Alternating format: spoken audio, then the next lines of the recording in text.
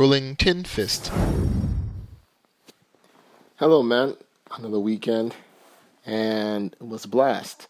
Today I had a guy car hangout. I'll just call it that, and uh, a bunch of us that typically get together from time to time took our respective sport cars, and uh, we went for a nice long drive.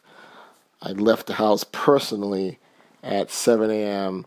By the time I rendezvoused with the guys, we went for our long ass drive and took the long way back home. We covered close to 400 miles, and I got home just about after 9 at night. Uh, just a really um, thrilling evening uh, with the men, and uh, it was great. And I wish, you know, more men I'm sure men do do this, but just really just um, do more of this stuff. You know, I think we men, especially, you know, if you're married like I am or have kids, there's so many things that are done to just make us utilities.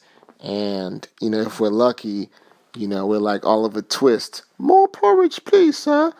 Um, instead, you know, I think we just need to uh, just make sure we have our time and just do the things that we enjoy. You know, some people, you know, is tomatoes. Yep, Vention I'm talking about you. But whatever it is, the, the, whatever it is, it doesn't matter. But you know, you know, have your thing. Whatever brings you joy, whatever brings you pleasure, um, whatever you can just be you and do. Uh, definitely do it. Um, I know for me, again, being married, especially having two kids, I don't have always have the time, but you know, I definitely carve it out. It's on the calendar, um, and I try to do it as regular as possible.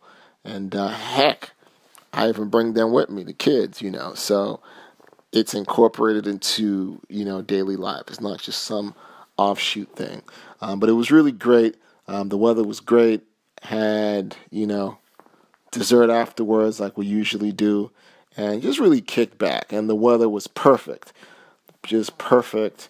And we got to go through the twisties and just really enjoy, you know, the sights and the sounds. And it was great. It was great. Um, anyway, have a good one, man. And uh, again, whatever you do out there, you know, for fun, whatever, keep doing it and spread the love. Peace.